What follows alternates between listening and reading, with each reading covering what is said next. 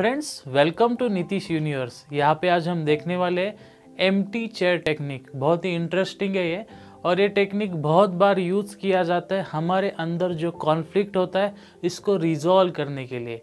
और ये टेक्निक उसके लिए भी यूज़ होता है जहाँ पे हम कॉन्फ्लिक्ट को रिजॉल्व करना चाहते हैं हमारे और किसी और के बीच में। आप बहुत बार काम करते हो ऑफिसेस में कहीं और जगह पे काम करते हो तो हमेशा किसी के साथ कलीग के साथ कॉन्फ्लिक्ट हो जाता है। और वो कॉन्फ्लिक्ट के वजह से जो भी निगेटिव एनर्जी है, हम वो लेके घर पे आते हैं और घर में प्रॉब्लम होते हैं। तो इसको कैसे रिजॉल्व करना है, इस टेक्निक में हम देखेंगे। तो चलो स्टार्ट करते हैं। यहाँ पे हम बात करेंगे पहले ऐसा, ऐसी टेक्निक जिसमें हम बात कर रहे हैं कि आपका और किसी और का कॉन्फ्लिक्ट है। तो वहाँ पे आपको क्या करना है कि आप जिस रूम में बैठते हो आपके चेयर के सामने एग्जैक्टली एक दूसरी चेयर होती है जो फेस टू फेस होती है। लेकिन उस चेयर में कोई बैठेगा नहीं, वो एम है। उसी रूम में एक साइकेट्रिस्ट रहता है जो आपको इस प्रोसेस में हेल्प करता है। तो इसमें ओवरऑल क्या करना है देखो, आप जब उस चेयर में बैठते हो तो आपको वो कहते कि इमेजिन करो कि आपके सामने वो पर्सन है जिसके साथ आपका कॉन्फ्लिक्ट है, क्योंकि वो पर्सन कोई भी हो सकता है, आपका बॉस हो सकता है, या कोई ऐसा आदमी जिससे आप डायरेक्टली बात नहीं कर सकते तो आपको इमेजिन करना है कि वो आपके सामने बैठा है। बहुत बार हमारा ब्रेन ये करने के लिए रेडी नहीं होता, क्योंकि हमें लगता है ये क्या हम टाइम पास कर रहे हैं, इससे क्या होगा एक्चुअली क्या होगा। लेकिन इसके पीछे जो साइंस है, वो मैं आपको अभी बता रहा हूँ। सपोज़ मैंने अभी आपको बोला कि इमली तो जैसे ही मैं इमली बोलता हूँ, आपके मुँह में पानी आता है, लेकिन आपको भी पता है और मुझे भी पता है, इमली ना आपके हाथ में है, ना मेरे हाथ में है। तो भी आपके मुँह में पानी आता है मतलब हम किसी चीज़ को इमेजिन करते हैं तो उस चीज़ के रिलेटेड बायोकेमिकल रिएक्शन स्टार्ट हो जाते हैं और हमारी बॉडी हमारा माइंड उसको रिस्पॉन्स देना स्टार्ट करता है। ओके तो वैसे अगर आपने उस पर्सन को सामने रखा तो फिर क्या होगा, आपको रियल में लगेगा कि हमारे सामने वो पर्सन है। आपको बस स्टार्टिंग में थोड़ा सा अनईजी लगेगा। लेकिन जैसे ही आप स्टार्ट करोगे तो बहुत कुछ अमेजिंग होने लगता है। अब आपको एग्जैक्टली exactly क्या करना है? आप जब बैठते हो तो आपको जो भी अंदर से आ रहा है, जो भी आ रहा है, वो उसके साथ बात करना है। उसके साथ शेयर करना है कि मेरा पॉइंट ऑफ़ व्यू क्या रहता है और आपका क्या रहता है।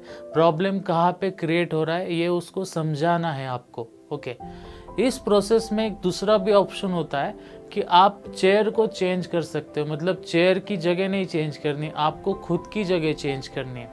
जब आप उसके चेयर पे जाते हो तो आपको वो समझ के खुद को बताना है कि उसका पॉइंट ऑफ़ व्यू क्या रहेगा। और उस टाइम आपको उसके जैसा बन जाना है। आपको खुद के बारे में नहीं सोचना है। फिर आपको फिर से स्विच करना है। फिर आपसे आप खुद उससे बात करोगे। मतलब जैसे लोग देखो चेस खेलते, अकेले ही खेलते हैं। एक बार इस साइड से, एक बार दूसरे साइड से सेम आपको करना होता है। इसमें ये मैं जो बता रहा हूँ, उतना इजी नहीं होता। उसमें आपको बार बार हेल्प लगती है। तो आपके साथ जो साइकेट्रिस्ट रहते हैं, वो आपको बार बार हेल्प करते हैं। वो आपको मोटिवेट करते हैं कि आप आपका और हंड्रेड परसेंट प्रोसेस में डालो। इससे बहुत ही अच्छा रिज़ल्ट आता है।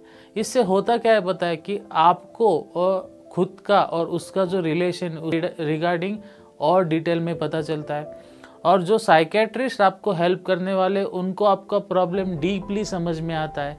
तो ये होता है एक जनरल मेटल इसी को कहते हैं एम टी चेयर टेक्निक लेकिन इस टेक्निक का मैंने बस आपको अभी फ़र्स्ट पार्ट बताया। अब सबसे इम्पोर्टेंट सबसे इंटरेस्टिंग सेकंड पार्ट है, जिसमें हम क्या करते हैं कि आपका, आपके ही साथ कॉन्फ्लिक्ट है। कुछ डिसीज़न लेना चाहते हो लेकिन ले नहीं पाते हो। ये करूँ, वो करूँ। ये करूँ, वो करूँ। दिन से रात हो जाती है, फिर सो जाते हो, फिर बोलते हो, नहीं, कल डिसाइड करेंगे। लेकिन कल की सुबह उसी कॉन्फ्लिक्ट के साथ आती है और फिर पूरा दिन निकल जाता है। और मतलब आप समझ नहीं पाते कि ये क्यों हो रहा है। ऐसा क्यों होता है पता है? क्योंकि वो दोनों भी थॉट्स आपके ही है, ये प्रॉब्लम है। अगर आप किसी बस में बैठे हो तो आपको बस में जब बैठते हो तो बस का स्पीड फील नहीं होता है। ओके, वैसे आपके थॉट्स जो आपको बार बार आपके माइंड पे क्या कर रहे क्लैश कर रहे ये आपको समझ में नहीं आता क्योंकि वो माइंड आपका ही है। तो आपको एक थर्ड कैमरा लगा के सोचना पड़ेगा, किसी की हेल्प लेनी पड़ेगी। लेकिन फिर एक प्रॉब्लम आता है कि कोई आपकी हेल्प कैसे कर सकता है, क्योंकि हर कोई आपका माइंड नहीं जानता। तो इस प्रोसेस में फिर से वही करना है।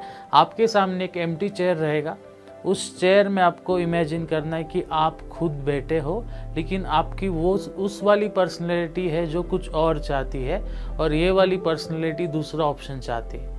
फिर आपको वही बात करनी कि उससे आपको धीरे धीरे बात करना है कि आपका क्या कहना है।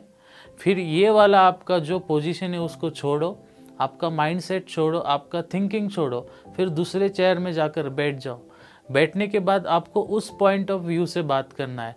और ये जितना भी कॉन्फ्लिक्ट होता है, होने दो होने दो, लेकिन बाद में धीरे धीरे आपका माइंड किसी एक साइड पे फ्लिप होने लगता है, उधर की तरह ज़्यादा जाने लगता है। और इससे क्या होता है कि आपको बहुत अच्छे से क्लियरिटी आती है। तो ये जो प्रोसेस है साइकेट्रिस्ट के साथ भी किया जाता है। ये वाला बोल रहा हूँ, पहले वाला नहीं बोल रहा मैं, बस ये वाला प्रोसेस तो ये प्रोसेस आप खुद भी कर सकते हो, चाहे किसी फ्रेंड की हेल्प ले सकते हो। और जब आपको ये करना है तो उस फ्रेंड को आपको सेंटेंस नहीं बताने उसको कुछ सजेशन नहीं देना है। उसको बस आपको क्या करना है, ज़्यादा ट्राई करना है कि आपकी प्रोसेस अच्छी हो सके। वो ये नहीं बताएगा कि आपको क्या करना है। वो बस आपको हेल्प करेगा जो भी आप कर रहे हो उसमें। ये करने के बाद अचानक से क्या हो जाता है, आपको दोनों भी पॉइंट ऑफ़ व्यू समझ में आ जाते हैं। और जब आप ये प्रोसेस होने के बाद रिलैक्स होके शांत बैठते हो तो फिर समझ में आता है, यार, वो जो सेकंड था ना, वो मेरे लिए था ही नहीं। मैं अपने आप ही सोच रहा था, लेकिन अभी मुझे क्लियरिटी आ गई। तो ऐसे बहुत सारे इम्पोर्टेंट इंटरेस्टिंग टेक्निक होते हैं, जो हम इस पर्सनालिटी डेवलपमेंट के कोर्स में ले रहे तो ये एक टेक्निक था जो मैंने आपको बताया, क्योंकि आजकल सबसे बड़ा प्रॉब्लम यही है कि क्लियरिटी इधर नहीं होती। तो फिर एक्शन में क्लियरिटी नहीं आती। एक्शन में क्लियरिटी नहीं है तो रिज़ल्ट नहीं आते। और रिज़ल्ट नहीं आते तो फिर से कन्फ्यूज़न होता है। तो आपको ये वीडियो कैसे लगा, ज़रूर ज़रूर ज़रूर कमेंट में लिखना। चैनल को लाइक करो शेयर करो सब्सक्राइब करो। And thank you for watching this video and bye